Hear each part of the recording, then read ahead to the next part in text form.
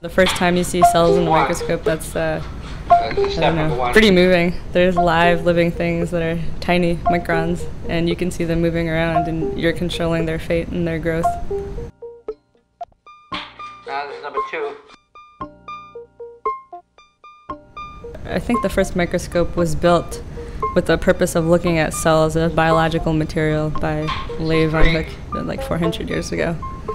So even though most scientists might use them now for metals and non-living systems, it began as a way of studying living systems. This is four.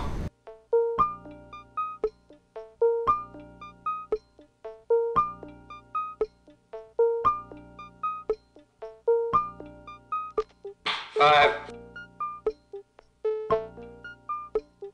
Well, I'm trying to make artificial services that interact with biological surfaces or biological volumes, and the surfaces I make have very tiny features, so I want to be able to look at the surfaces, but I can't see them with my eyes, so I use big machines.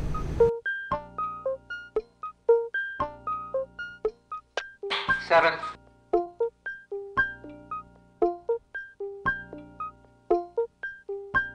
Sometimes I change the surfaces I make and see how those features change every time I change a processing condition.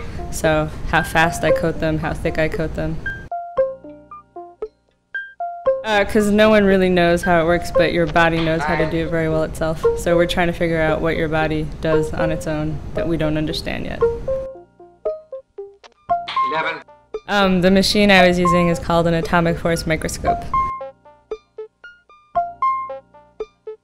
Well, it's like a tiny finger that rasters back and forth over a what was ten. surface. And based on what the finger feels, I can get a map of the surface.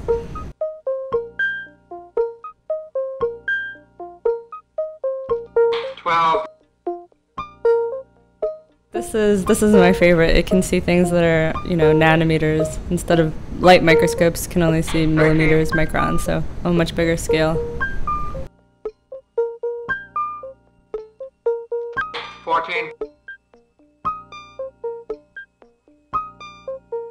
I can't see any of this with my eyeballs. The things that this Fifteen.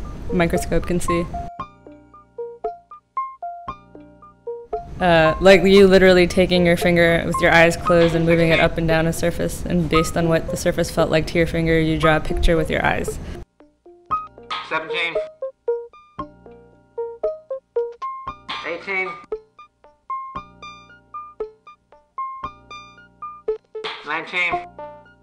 It's pretty daunting. There's machinery that's small and machinery that costs hundreds of thousands of dollars that at any minute you can break and completely fuck up.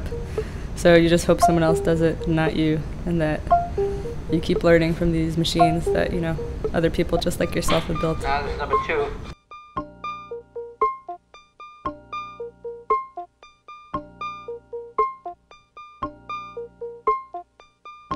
This is three. Well, I mean, the first time you look at a type of sample, you have no idea what you're going to get, and you have no idea if what you're imaging is actually This is four. what your sample looks like, or you know, all sorts of artifacts you're introducing to it. Maybe the, you know, hundredth time you're looking at a similar type of sample, it's not as neat or interesting or surprising, but Five. usually it always is the first time. It always takes you. Well, the thing is that they're never, they always look like things you've seen in real life or very pretty geometric patterns, and they're never what they actually, you would never see the image and know what the sample was or even begin to think that's what the sample could have been. It's usually something that reminds you of something in the macroscopic world you see around you or just very pretty geometric patterns that you haven't seen before.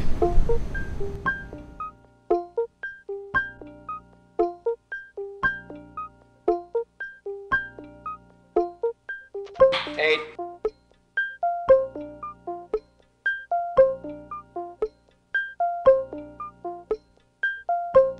Nine.